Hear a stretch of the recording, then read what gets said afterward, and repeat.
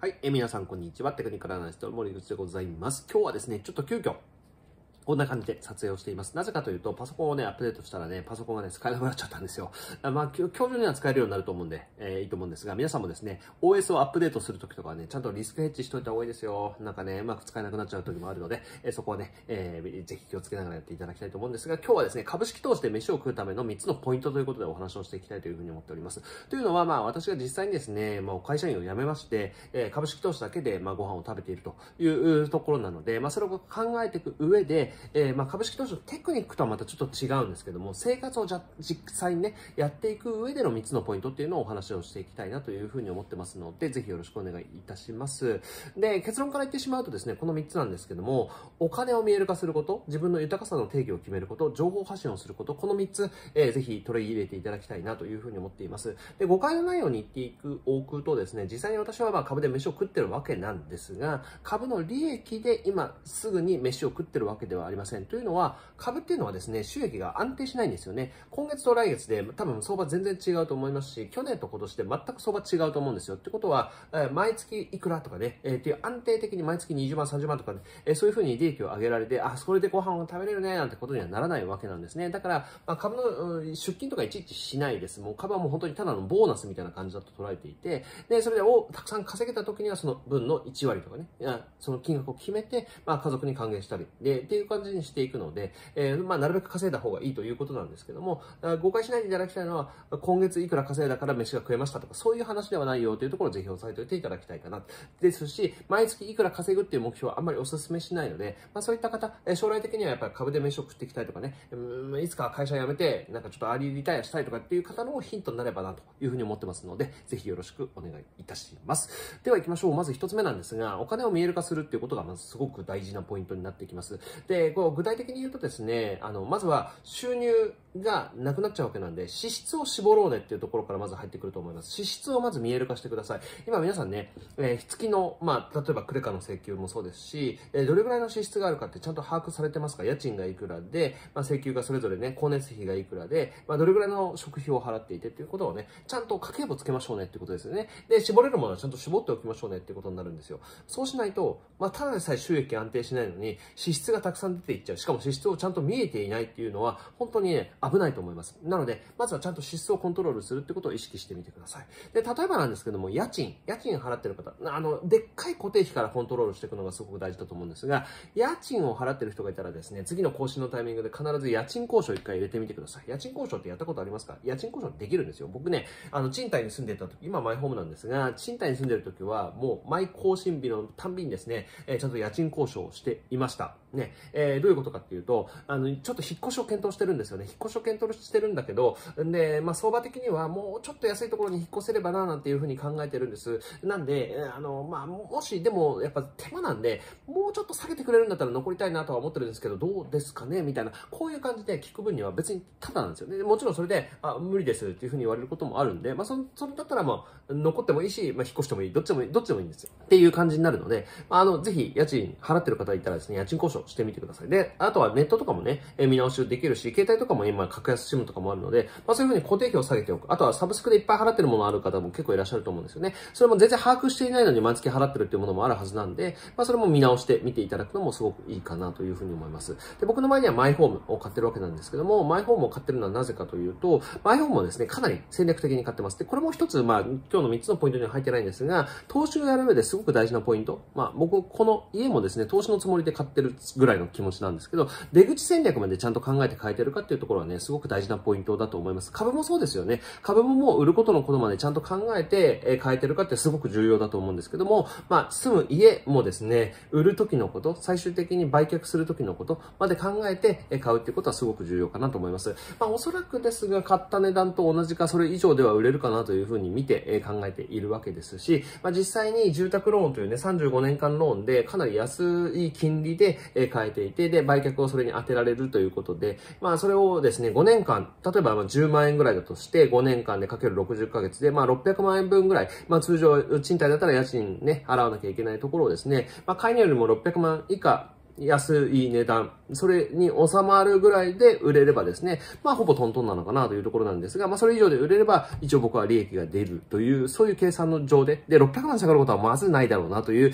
まあそういう場所であったりとか、まあそういう立地、あとは、まあ身体新基準と言いまして、身体新基準、で、やっておくと、まあ、あの、確定申告の時にね、税額控除が受けられたりとかっていうこともあるので、まあ、これはかなりでかいんですね。えー、まあ、そういったところでですね、支出をちゃんとコントロールしていくっていうことをまずはね、やってみていただきたいなというふうに思います。で、加えて、あと、ま、資産状況ですね。資産の状況。今はね、PL の話してましたが、貸借対照表、BS っていうのをね、まあ、個人で作る方ってほとんどいらっしゃらないと思うんですが、まあ、ちゃんと自分の資産状況、負債の状況っていうのは把握しておきましょうねっていうところですね。で、結構まあ、生活費以上の貯蓄を持ってる方なんかもきっといらっしゃるんじゃないかかなというふうに思うので、まあまあ3ヶ月から6ヶ月分ぐらいあれば、ひとまずは足りると思うので、で、それが全部なくなっていいっていう話はもちろんないんですけども、まあその分、ちゃんと運用に回せる分のお金っていうのを適切にね、配分しておくっていうことが、まあ、将来的にこう効率的な資産運用につながっていくんじゃないかなというふうに思うので、まずはね、BS なんかも作ってみるといいと思います。で、それをやった結果、あ、本当に私お金がないんだって思う方もいらっしゃるかもしれないんで、その方はですね、いきなり株で生活、飯を食おうなんて思ってはダメですよ。えー、会社員を続けていただいて、支出を削っていただいて、え、貯蓄を貯めていただいて、で、種銭を作っていただいて、で、そこから運用のテクニックを学んでいただいて、そこからですからね。まあ、それはぜひ意識しながらやってみてください。ということになります。で、二つ目ですね、自分の豊かの定義を決めるってことなんですが、これは何かというとですね、自分さえ良ければ良くないですかっていう話です。なんかこう、株式投資家ってこう、美徳化されてるところも結構あって、送り人っていう人もたくさんいますし、なんかたくさん稼いでないとですね、株の専業になっちゃいけないとかね、株で飯食っちゃいけないとかって、なんかそんなイメージもなんとなくあるような気はしているんですよ。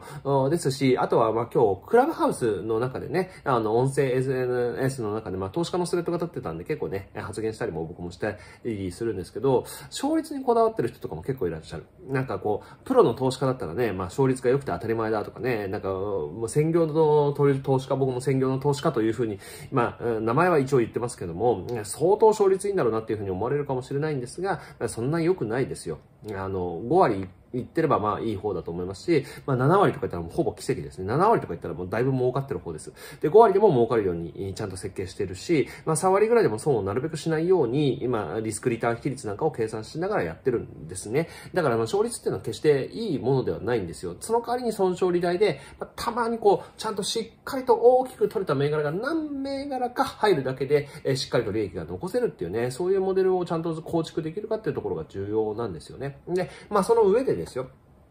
その上で、まあ、自分で稼がなきゃいけない額っていうのをちゃんとね、考えておいていただきたいんですね。で、まあ、自分で決めた豊かさっていうものが満たされれば、それでいいわけです。年間500万でいいっていう方であれば500万でいいわけですし、まあ、それこそ別に他の収入源作ってあって、年間100万でも増えればいい。年間10万でも増えればいい。まあ、それも立派な株式投資で作る豊かさの一つだと思うんですね。えー、なので、まあ、その自分の基準っていうのをしっかりと満たしていてですね、で、かつ、まあ、他人と比較しないっていうところがすごく重要だと思います。隣の家の芝は青く見えるではないですけども、で、実際にメディアに出てる人、メディアから目立つ人、SNS とかで目立つ人っていうのはもう本当にごく一部の送り人とか何送り人とかってそういう人ばっかり目立ってくるので、えなんか自分が全然物足りてない、なんか自分は投資家失格だっていうふうに思われるかもしれませんが、全然そんなの関係ないし、自分の基準さえ満たしておけばいいわけなんですね。なので、まずはちゃんと自分に聞いて、ね、他人の人生を生きない、自分の人生を生きていくんだ、自分の基準をしっかりと満たしていけばそれでいいんだっていうところを、まずは決めていただいて、で、その目標に合った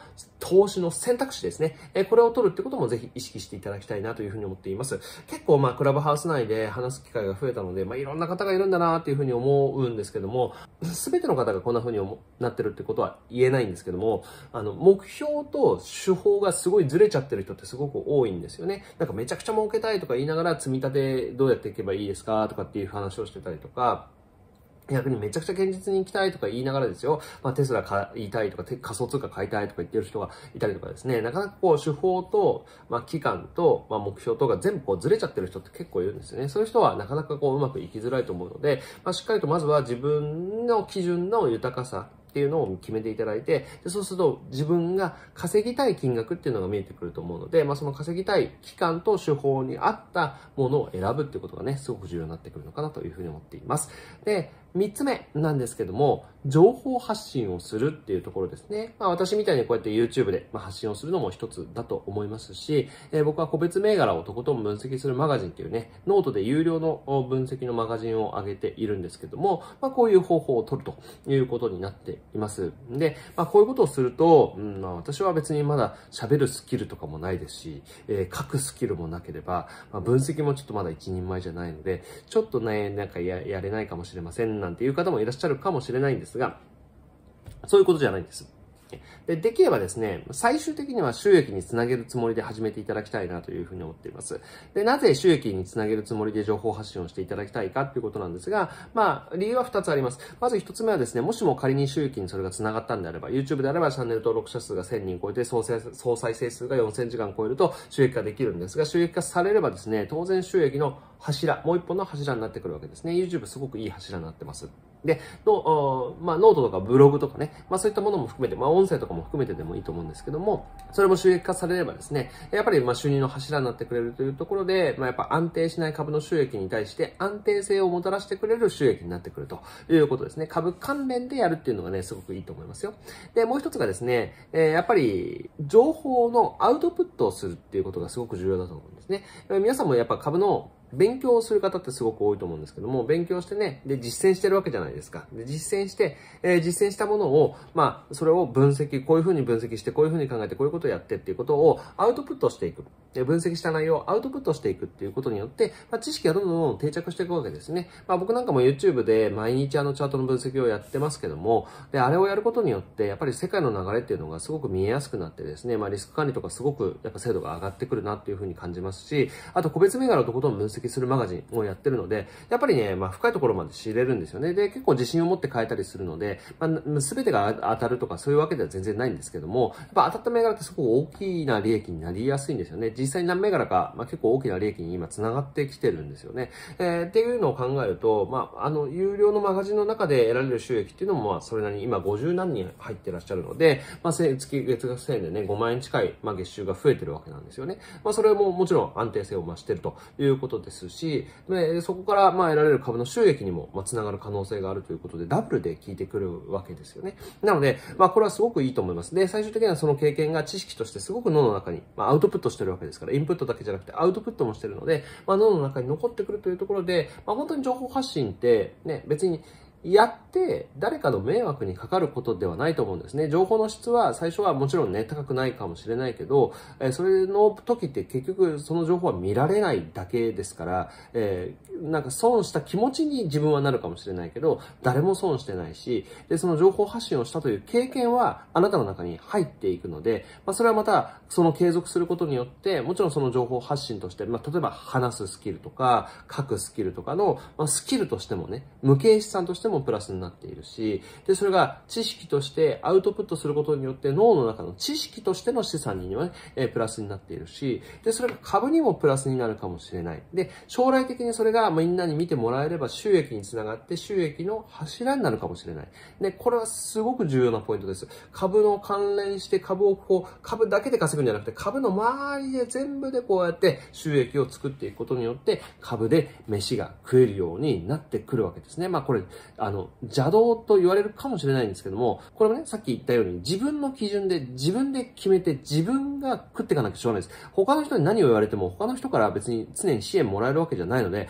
他の人の意見を気にする必要は全くないんですね。自分で自分のご飯を食べるお金を確保していかなきゃいけないっていう時には、やっぱり情報発信では非常に有益な方法ですから、ぜひですね、皆さんもね、チャレンジをしてみていただきたいかなというふうに思っております。ということで今日はですね、株式投資で飯を食うための3つのポイントを紹介しました。改めてちょっとまとめておきますと、まずはお金を見える化しましょうねというところで、大事なところはやっぱり支出を抑えましょうねっていうところが、まあ、すごく大事なポイントになるのかなというふうには思っています。で、加えてまあ資産も見える化することによって自分の次のね、一歩が見えてくるかと思います。運用に回すお金がどれぐらいがいいのかかとかね、えー、実際にどれぐらい貯金した方がいいのか、ね、えー、そういうのも見えてくると思いますね。まずは見える化してみましょうと。で、そして自分の豊かさの定義を決めましょうというところで、まあ、自分が何を目指しているのかっていうのをね、明らかにするっていうのはすごく重要なポイントになってくるかなというふうに思います。ね、あの、本当に1億円プレイヤーを目指すっていうのも全然いいと思いますし、まあ、10億円目指すとかでもいいと思います。で、そのためにやっぱりリスクを取らなきゃいけない。で、逆に堅実に行きたい。別に年間100万でいいんだっていう方だったら、まあ、それはね、持ってる資産と、ね、運用利回りで決まるので、まあ、どうういう手法を取るかはね、また変わってくるわけですよね。まあ、そういう選択肢が、適切な選択肢が取れるというところで、まあ、まず自分の目指すもの、豊かさの定義ですね。お金を得た後の、豊かさっていうのを自分で決めてくださいねっていうのが2つ目のポイントでした。で、3つ目、情報発信をしましょうね。まあ、YouTube でもいいですし、ノートでもいいと思うんですけども、自分なりにですね、情報発信をすることによって、まあ、悪いことは何もないかなっていうのが僕の感想、やってみてる感想です。まあ、YouTube をやることによって、やっぱりチャート分析によってリスク管理がね、えー、まあ、こうついてきていますし、えー、徹底分析マガジンにすることによって、やっぱり個別銘柄を徹底分析すると、やっぱり直接的な収益につながる可能性がある。で、それが、まあ、知識としてアウトプットするっていうことにもなるし、話すスキルや書くスキルなんかでも繋がっていくってことになれば、まあ、損することは何もないかなということですから、えやれる方はですね、ぜひやってみていただきたいかなと思います。で、やっぱりまあ、まずはですね、自分の姿をしっかりと見ること。で、自分のなりたい姿を理解すること。で、まあ、それを、まあ、あわよくば伝えていくっていうことでね、成長していくのかなというふうに思っています。で、私自身もですね、皆さんが少しでもこう、投資を通じて豊かになれるように、ね、えこれからもですね、まあ明日以降も、えチャートの分析を続けながら、え応援していきたいなというふうに思ってます。え今日はこんな感じで飯を食う3つのポイントということでお話をさせていただきましたが、明日以降はですね、テクニカル分析をお届けしますので、えこれからもぜひよろしくお願いいたします。今日の中でも少しでも参考になれば、グッドボタンの方よろしくお願いいたします。また明日以降もですね、え聞いていただけるという方は、チャンネル登録の方よろしくお願いいたします。また、あの、個別銘柄徹底分析マガジンですね。ね、こちらはですね、最新記事プレミアムウォーター配信中ですので、よかったらそちらも覗いてみてください。ではまた明日テクニカル分析でお会いしましょう。さよなら。